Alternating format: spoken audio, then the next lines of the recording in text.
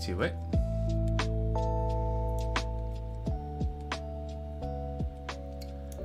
That seems like a good level. There we go. Back to this. Okay, what were we doing? Well, that's why I made the list. Uh, somewhere. Um, so many tabs. There we go. Okay. So, yes, issue. This issue. Um, so, a couple things happening right now. One is that I'm I'm doing some video uploads to, uh, which is actually maybe not the best idea considering I'm streaming right now, but hopefully my internet will handle it. Um, to get to the point where we will see a quota error from the API, uh, which seems to happen after uh, uploading a couple of videos. Right, so we were at 3200. Let's see if that's changed. Still at 3200. Is it? So that should be. Um, if I remember from the API docs, it was like, was it 1600 per upload? Videos, insert. Quota cost was 1600. Okay, so that's two videos. Um, which if we look at the tasks here, yeah, we're still processing those two videos. And then the third one is queued up. So it'll take a few video uploads to get to the point where we'll see the quota. So let's let, let's come back to figuring out what the actual error looks like and handling it. Let's um let's just assume that that part is done. So we'll not change anything in the um, in the YouTube upload API just yet. Let's just define what we should be looking for in its response and add that handling into the task worker. And we'll just focus on um, making changes in the task worker to handle this. So uh, I want to look at my list of issues here in uh, VS Code. There's the new one, number 95. Uh, we'll create a new branch to work on it. And um, I think, yeah, so what, what should the error look like? Like we... Uh,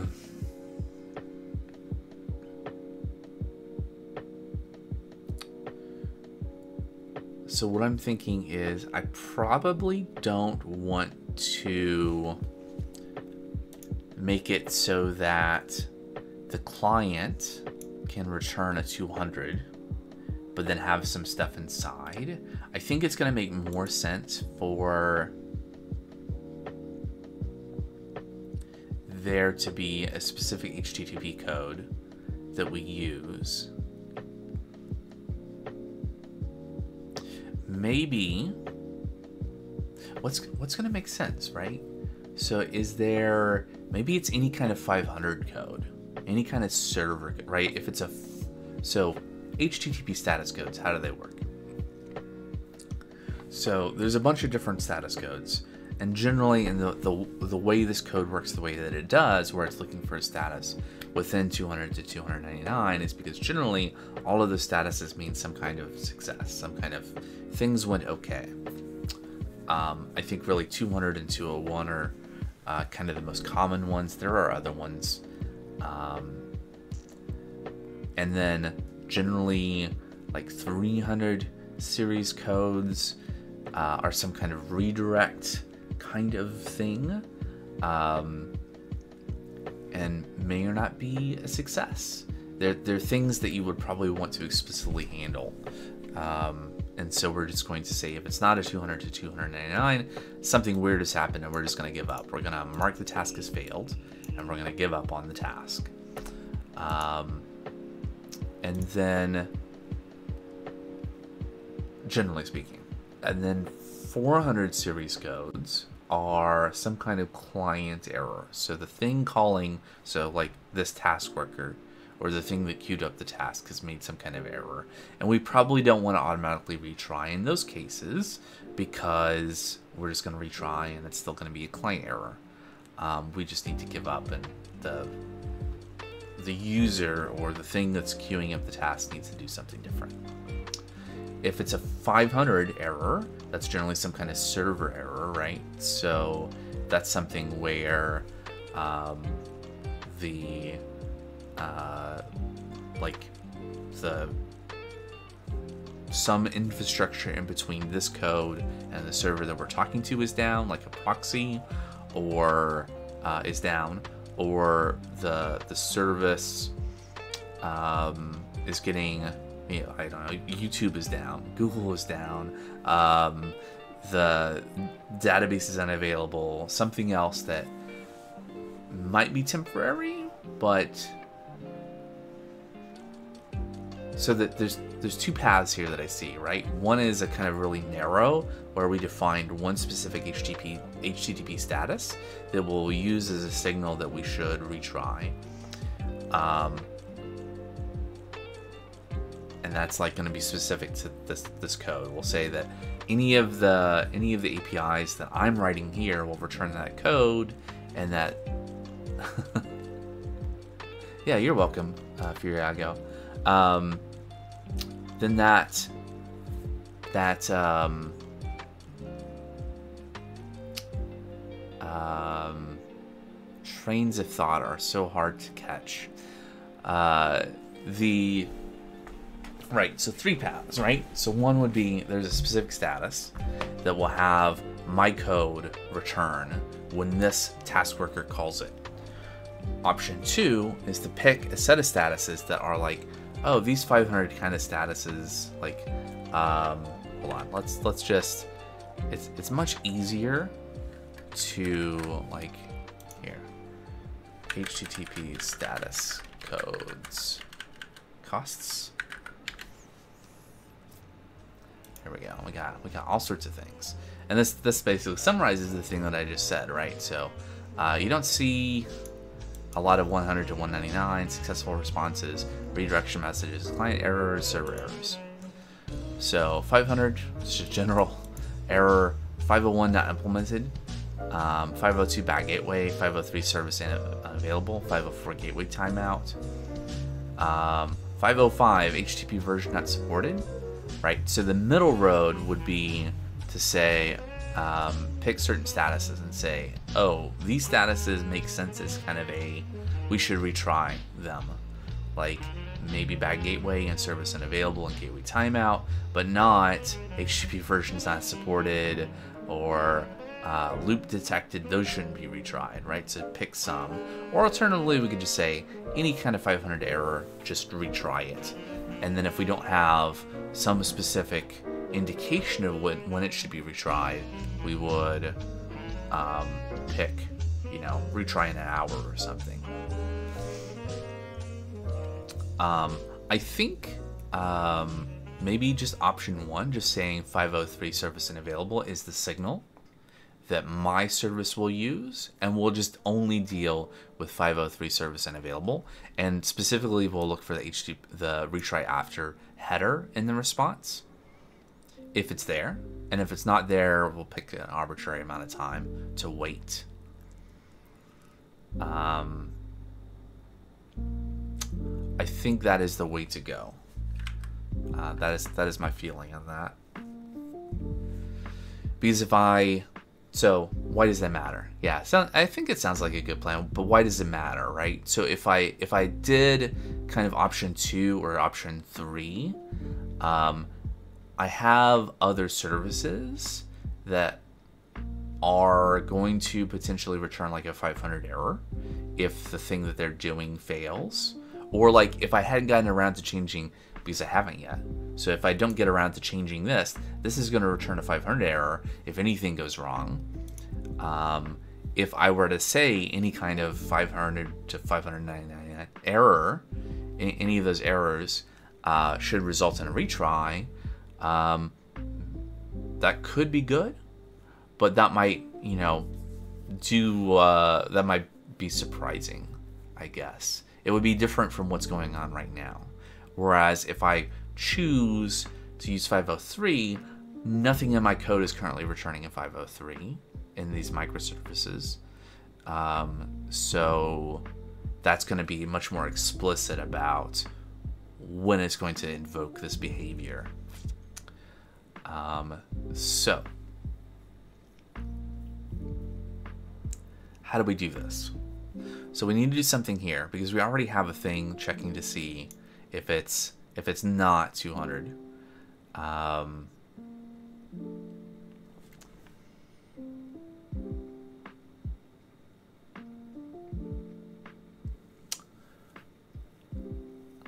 so I could add some code in here, right? And say, okay, well, it's not 200. Is it, is it uh, a 503 error? But I could also, instead, do that up here, right? If it's a 503 error specifically, I do something and then I skip doing everything below, right? Or um, I could do other things where I like pull this part of the logic out somewhere else. I think for now, I'm gonna just say, hey, if uh, if the response is a uh, 503 service unavailable, then um, then what? Then what are we doing? So I think what we need to do is we have this thing called task status. It's queued, it's processing, it's complete, it's failed, it's valid. So I think we're going to need a new status that's going to be um, maybe we don't. Maybe don't. Maybe, maybe we just leave it as processing.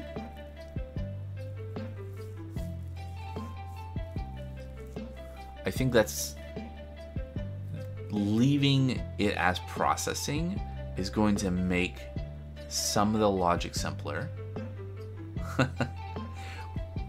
well, thank you uh, for saying so. Um, this is something where being good at this means thinking it through and um, probably the most rigorous way of thinking something through in, in, in, in, my experience is just to like talk it all out so that's what i'm doing um, because there's always more than one, one way. In fact a lot of different ways of doing the same thing. Even like when we're focused on just a little bit of code there's lots of ways there's lots of ways of doing it.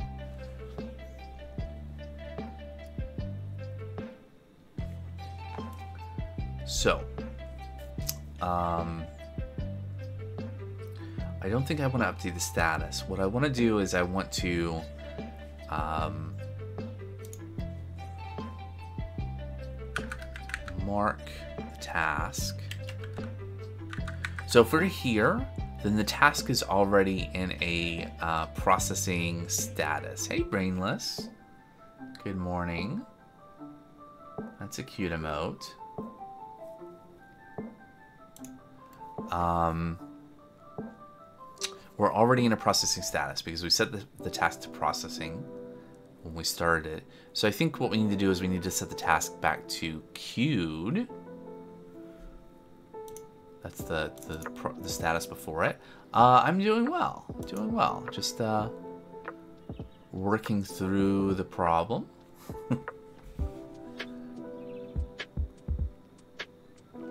How are you doing? Task as queued again and add, we're going to do th three things. We're going to change the status back to queued. We're going to um, add a retry, um, delay, and break with a comma there. And break. There we go. Uh, very sleepy. I need to make myself an espresso. Yes. I've already had my morning uh, two shots, so uh, I have to wait till after lunch. Moody Abigail, I see you're still around after your your lurk earlier. How's it going? what is that? Oh, I see turbo and then I see, I see. Happy Sunday, uh, Lady Versailles. I hope this weekend has been good to y'all. Yeah. I, I hope everyone has had uh, a good weekend so far. I, uh, it's been alright. What did I do yesterday? Uh, read some fanfic, played some, um, uh, The Planet Crafters.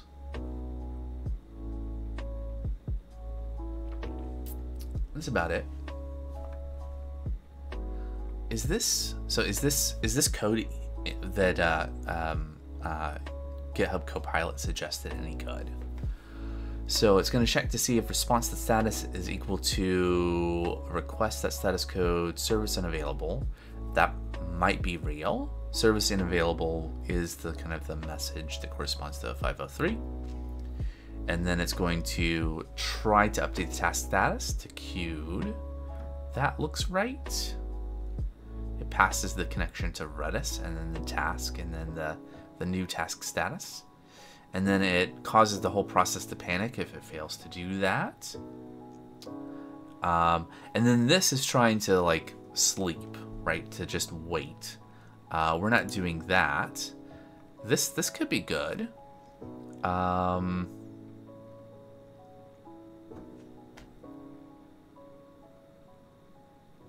What I want is actually kind of a mixture of those two uh, things. Because I do want some of this. Oh, I can't copy from there. That's unfortunate. Uh, so I'm going to take this. And then uh, I'm going to read that message in a second. We're going to get rid of this. And then... Um, Okay. So update the task status. Um, put the put the message back in the queue. All right, what's going on? Jake here? underscore jar dash and just subscribed Jake. for five months. Thank you for the resub. Um, that that is a that is an interesting emote thing going on there. Uh, five months, thanks so much. And then Brainless said, I'm so conflicted. A good friend and ex coworker is convincing me to apply for a job uh, at his current company, which would be over 3x my current pay. Uh, on one side, so much more money on the other. I'm happy with my current one. I mean, you could be happy there too. Right? You just never know. Um, I mean, I. Hey, Snowy283, how's it going? Welcome in. Um, yeah, I don't know. I mean, that's tough, right? Because I'm doing well. Uh, just tr trying to process Brainless's uh, conundrum here. Um, I mean, if you're happy where you're at, I mean, I guess the question is, could you be happy there too? And and it's really if you can get a good sense of like your uh, coworker's new company. Snowy283 just followed. Thank you for the follow as well. Appreciate it. Um, yeah, Jake has has an interesting point as well. All right, so what are we doing? So is this is this actually a thing that exists? It looks like it. Yes. Okay. So Copilot gave us some some maybe working code. I think. Do I have?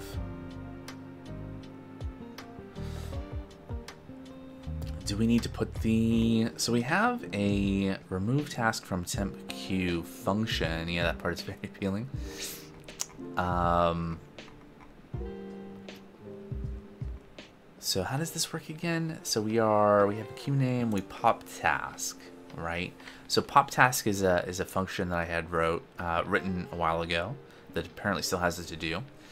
Um, we, we are uh, popping an element from the list, pushing it to another list and returning it. And it's a, a blocking operation, right? So we are moving the task, um, the ID or the, the key of the task from the main queue to a temporary queue. And then we're getting the task. And we're like putting it into this uh, into this struct. Um, so we want to, and then this function removes the task from the temp queue.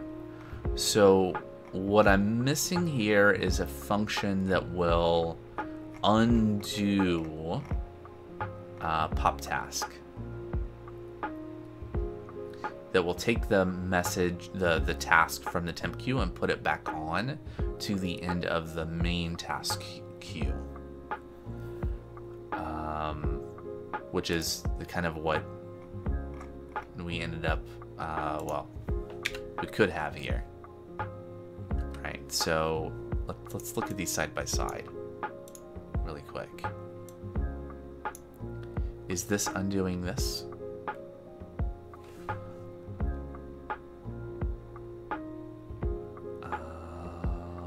Oh yeah, now I remember. So that's why I turned off notifications um, before, was so that I wouldn't have stuff popping up uh, on coding streams because I'm doing like a desktop, uh, like a full screen capture. Uh, but it's comprom compromises. Um, okay, SOC dir left, desc dir right, source key Okay, so let's think about this. Pop task is going to read from the main queue from the right hand side. For some reason, I guess that means that when we when we queue up a task, we're putting it on the the left hand side. So it's first in, first out. Is that is that how that works? We should have a function somewhere here that um, puts the message on the... Oh, something failed. This is Rust. Yes, indeed.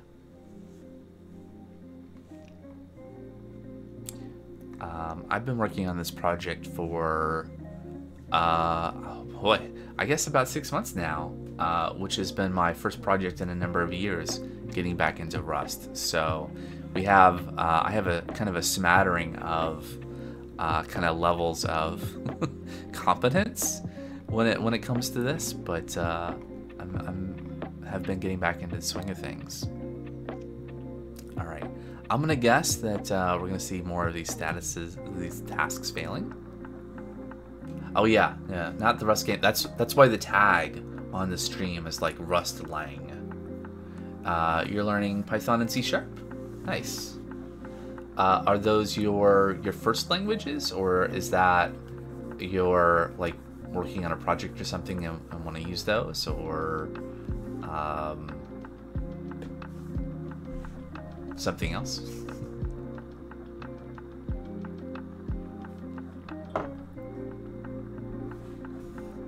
yeah, Python's good. Um, the the very first version of kind of some of, some of this code was in Python using using Django. Um, before I decided I want to do some other things. Uh, they kind of are my main languages. All right. So just getting getting started with those then.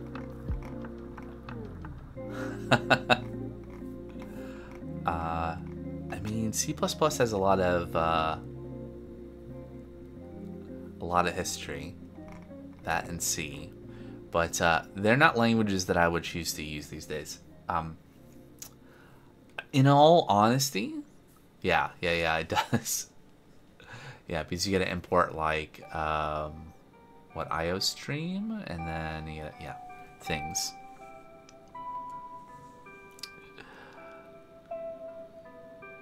Alright. How... How are we getting the task originally onto the queue? Gosh, there's... Hmm, let's let's go back to... Oh yeah, yeah, let's go back to the task API. Because that, that'll, that'll let me get through. Uh, yeah, console write line. Yep. Uh, and even less in Python, just uh, print. I think you might be missing a quote, but I get your point.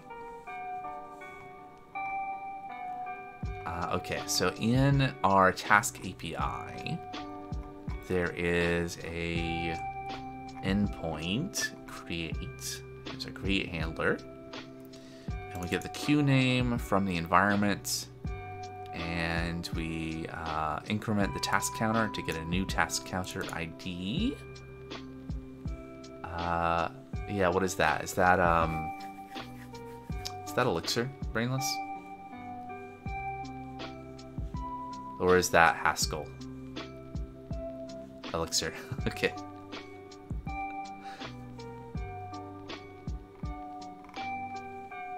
It, it could be either, I don't know. I have I have literally just hours of experience with Elixir and it's it's been on stream.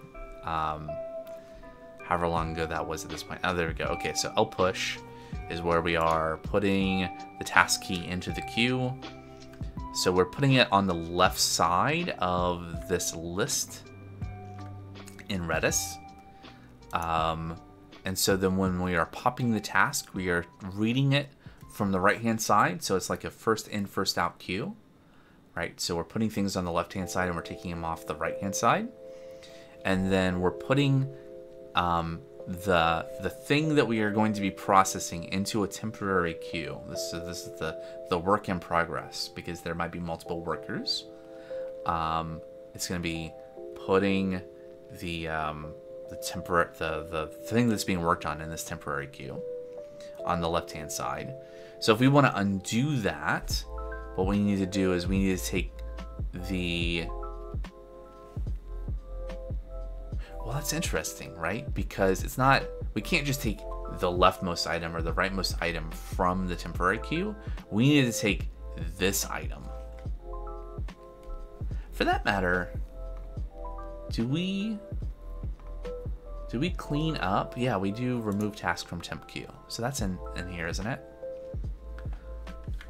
We use lrem removes the first count occurrences of elements equal to the value from the stored from the list stored key. Okay so that's what we need to do. We need to use this function still up here uh, up here. So it's not enough to just um, do this. We need to put uh, we need to put the task ID in the main queue. So that the task can be re, um, retried at some point in the future, right? Um, the task worker will be able to find it again and process it. Um, is there is there an order that we need to do this in? I think we need to remove...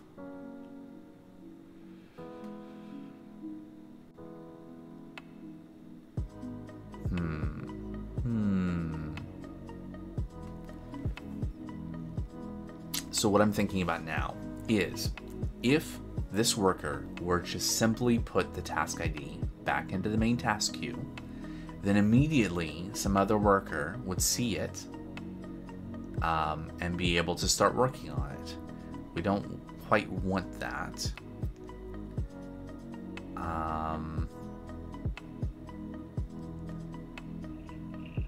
we need to, before we do that, we need to update the task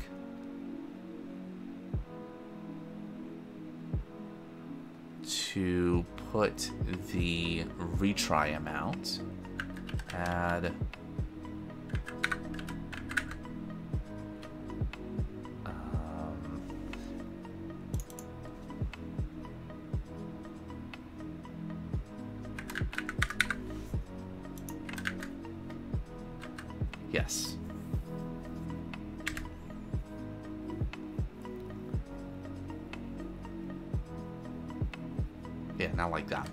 But something we need to update the record in Redis to say, hey, now this shouldn't be retried until some point in time.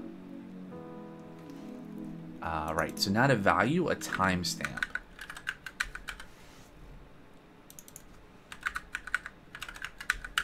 That way, once I've um, once we put the task ID back into the main queue, any worker that picks up the task, let's say there weren't any other tasks, right? Let's say there was only one task in the system. So the queue, the main queue would be empty at this point. The temporary queue would have the one item in it because we were trying to process it. When we called the API to process the task, then we got a 503 back and we're like, okay, well, we need to retry this.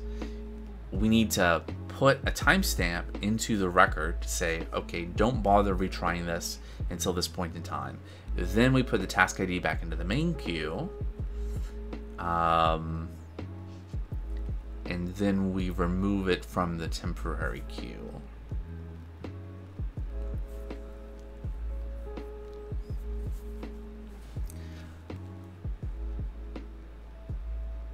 What was the purpose of the temporary queue again? What what do we I mean besides removing the task from it later?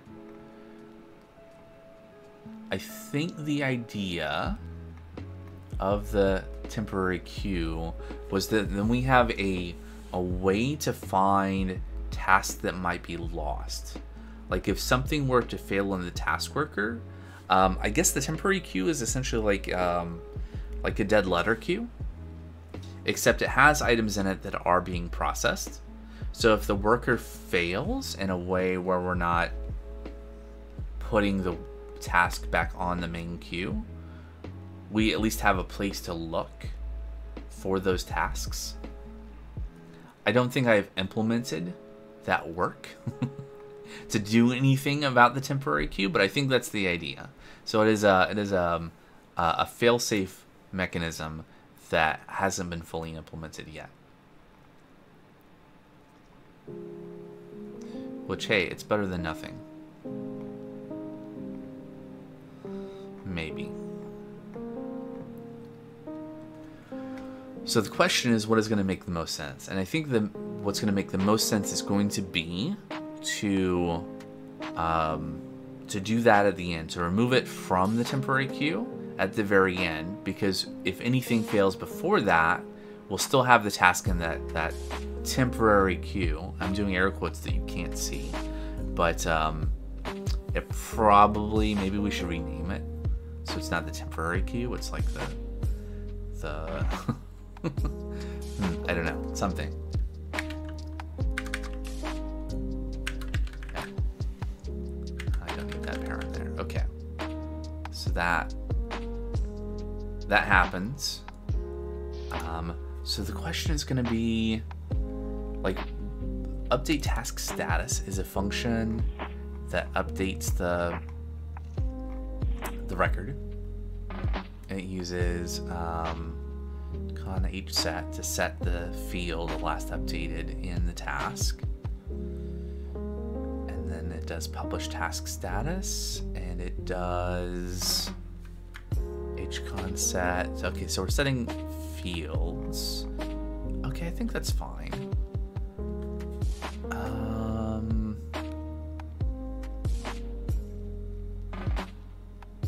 like so i'm debating whether i want to have like i probably don't want to extend this function to have it do more. Do i want to have it do less? Do i want to have another function that uh, wraps this process and also adds the retry timestamp i don't think so um, let's do this. Let's create a function. Call it, um, let's see, pub fun. No. Um, set task retry timestamp. Okay, let's see what Copilot gave us here. Um, no. No, this is not what I want. Right, because we want retry timestamp to be a parameter here.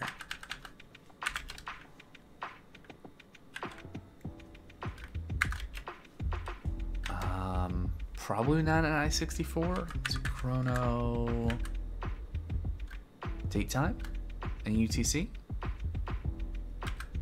Something like that. So we'll do uh, H set on the task and we'll use a, a field called retry timestamp.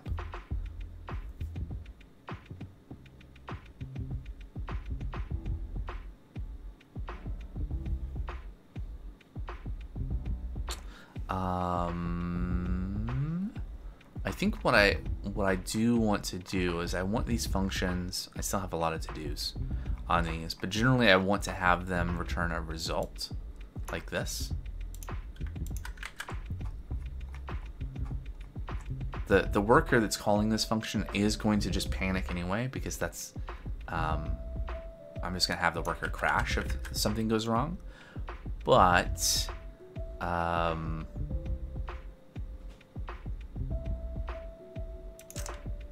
is going to be like this. Match. That's that parent. What is the... What is the issue here? Ah, I see. Um, so result. Oh, I see. Right, so this needs to be okay, and then this needs to be that. There we go. And that's valid code, right? Because we need to, for the result type, the the final expression, because this isn't in the semi, semicolon, it's an expression, um, needs to either evaluate to this okay uh, type from result or the error so we're translating like um,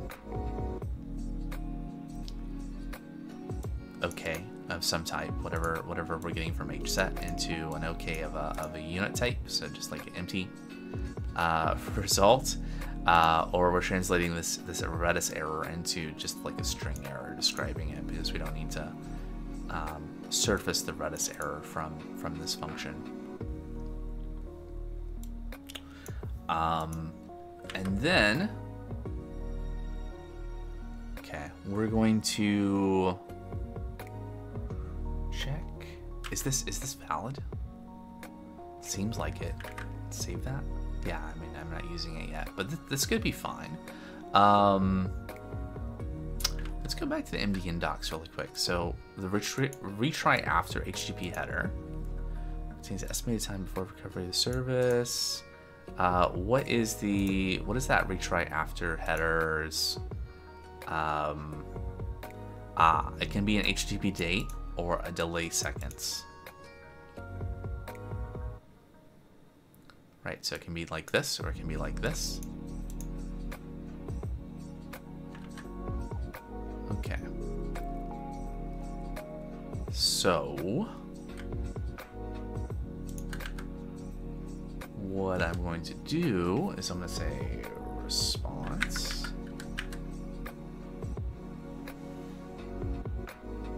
Interesting. So we get one version from Copilot where it's just going to assume that it's parsable as an integer. So we get a number of seconds. We get another version. Uh, okay, signed versus unsigned. Unsigned is probably fine. Um, I don't like this.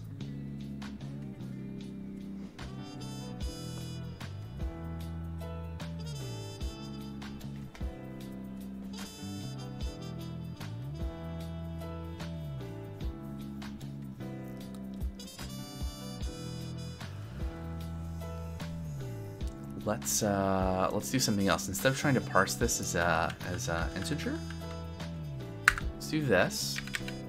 And then we'll say, um, let retry timestamp is, we'll use match. See if we can get Copilot to give us something helpful here. Um, so we can try parsing it as, uh, as a number. If there's an error, yeah, we could do things.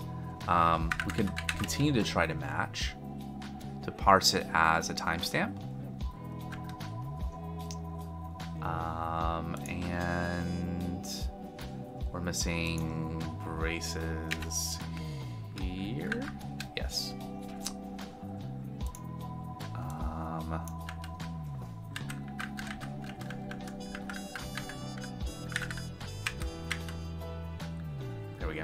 trace an error. Um, not an error, info. And we shouldn't like we shouldn't throw an error if we don't find the retry, retry after header. Um, what if we did this? What does this look like?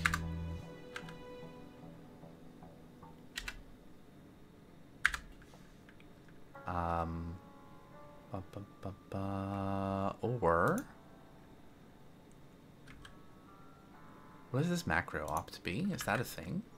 That's not a thing.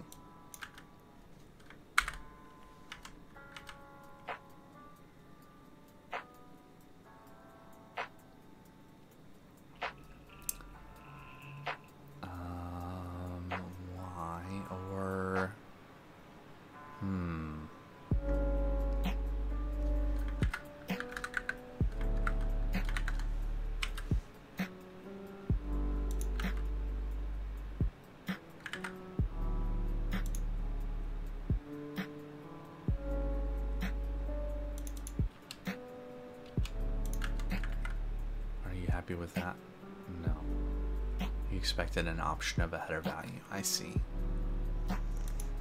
Uh, is there like a map?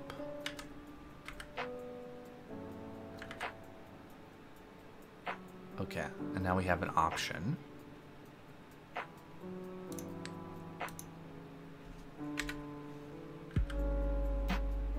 Ooh, actually...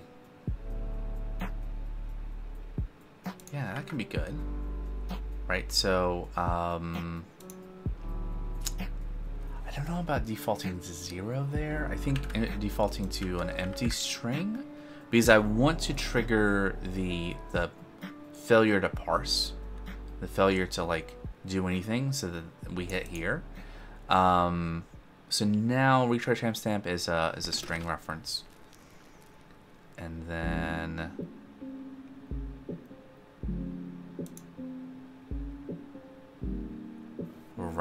Um, this arm needs to take that timestamp and convert it into... you know I'm not. But thank you for the prompt. Uh, I do... We talked about... Uh, maybe it's been a while now, a month or two, getting um, um, a second webcam. Well, yeah, practically a second webcam because I have the other one that I'm not I'm not using for coding streams because I don't want to be on camera in the morning, but I guess my fingers could be, and we could show this keyboard on stream, uh, and you can see all of my fumbles. Uh, but yeah, I'm using this uh, this Moonlander um, ZSA Moonlander keyboard, so it's like a split ergonomic keyboard with a stand. Um, it's uh, using a Colemak layout, so not not QWERTY, not Dvorak, even weirder.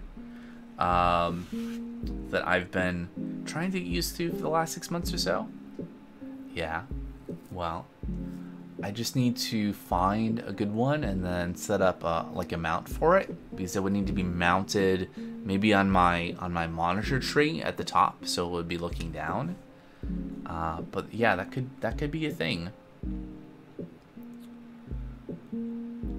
Um, so I want to construct a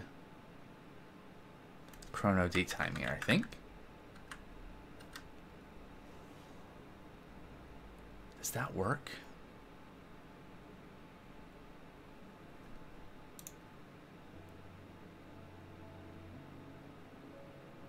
Um, like this gives me an I-64. That gives me an offset. Can I... Yeah. It's just, I think... Yeah, we'll look, we'll look at the logs in a second because I'm curious about what's going on there. But we'll, we'll do chrono. Um, UTC from. Is that going to work? I need a comma. Uh, expected UTC found I-64. What does it mean? I-64. Timestamp here is a U64. Um, expected. Ah. Um, this is what I'm looking for. Date time from timestamp.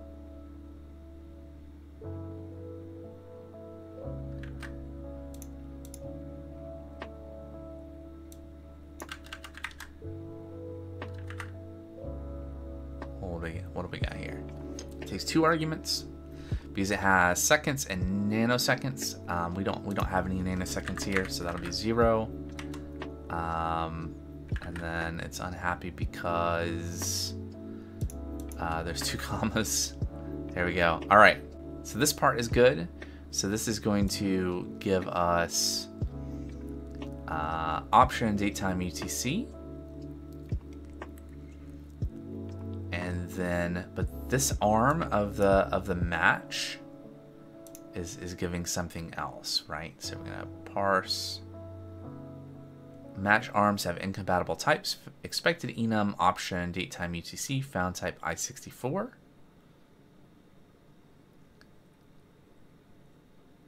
Um, that's interesting. Oh, right, because we're doing timestamp at timestamp. Uh, we don't need to do that. We can just do that. Okay, what's it complaining about now? Uh, expected option datetime UTC found datetime UTC. So this um, this is maybe a date time, or it could fail to generate a date time from the timestamp. Um, according to the type, like from timestamp gives a option of self, where self is this this type. Um, so yeah, it returns none on an out of range number of seconds or invalid nanoseconds, otherwise returns some date time. Um, in the context of the task worker, what I'm going to do is I'm just going to force the issue. I'm gonna I'm gonna use a dot expect to cause it to panic if this doesn't work. And that means that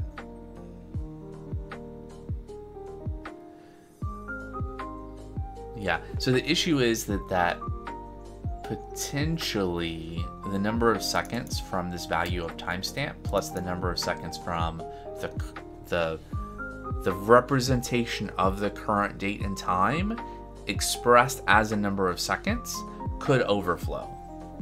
I think is the idea, um, and so this could fail, and so generally that failure is handled. We have a, an option, so either it will work or it won't. Uh, and what I'm saying here is if it doesn't work, go ahead and just cause the whole program to crash. That's what .expect does here. Um, in Rust, um, it's called a panic. So in the context of this particular program, so the task worker, I do want any kind of unusual circumstance just to cause the pro process to crash. Um, because we'll, what we'll do is we'll have multiple workers running and they can be restarted and they're in in practice. Like if this was deployed somewhere if this was an actual product and whatnot you'd have monitoring you know things. Um, but by doing that i convert the option into the underlying type. So then i get an actual date time. Um, now this is wrong because th this can't be zero. Instead uh, and I don't want it to be now either. Uh, what I'm going to do is I'm going to, um, we're going to say, let's see, how do I want to do this?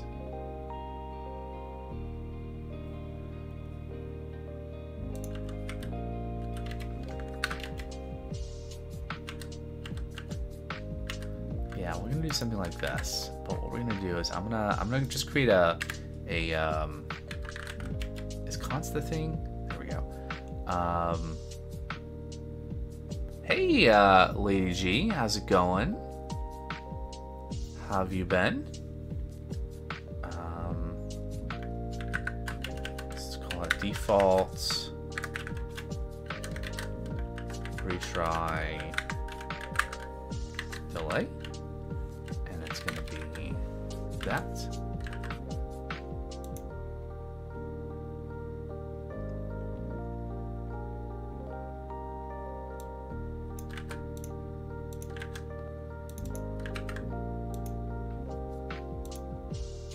Qualify that. There we go.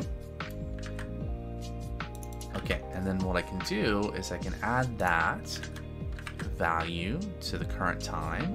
And so now the only issue is that I'm not using retry timestamp. So retry timestamp is this value that represents when we want the task to retry. So that was that was a lot. Just to get to that. What's this complaining about? We're not using E. Um, is it is that essential? Oh, I see. Um, I don't I don't care about that that error for parsing the integer, so we'll just ignore the the contents of the error. Uh, presumably, if we fail to parse um, the value from the HTTP, HTTP header as an integer, it's because it wasn't an integer. Um, so that's fine. So now, what are we doing with this? Well, we're going to call set task retry timestamp.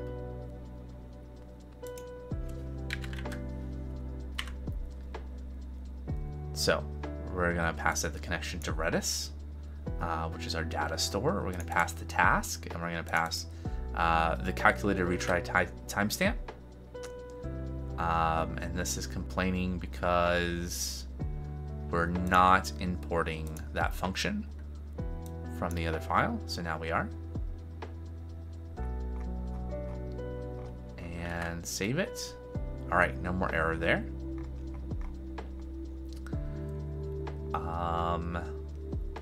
Okay, so this gets us to the point where when we, when we call the service, if it returns a 503 error, then we either use the uh, retry after header that's returned in that error response, or we um, don't find that, in which case we will uh, use the default retry, default retry delay, uh, currently of one minute. So every minute we'll retry to uh, to do the thing. Okay, so we set that, and now we can put the task back into the main queue, um, like so. All right, so we're just gonna add the task key into uh, queue name, just coming from up here, or we get it from the environment. So we're, we're in the in the Docker compose configuration for the service. We're telling it what the name of the queue is, where everything is uh, working, and then uh, then we can remove it from the the temp queue, and then we break. And so the break here is breaking this inner loop. So the there there are two loops here. So this loop, uh, and honestly, yeah. So let's let's add a little bit of comments here, right? Um, take a task from the queue and then um,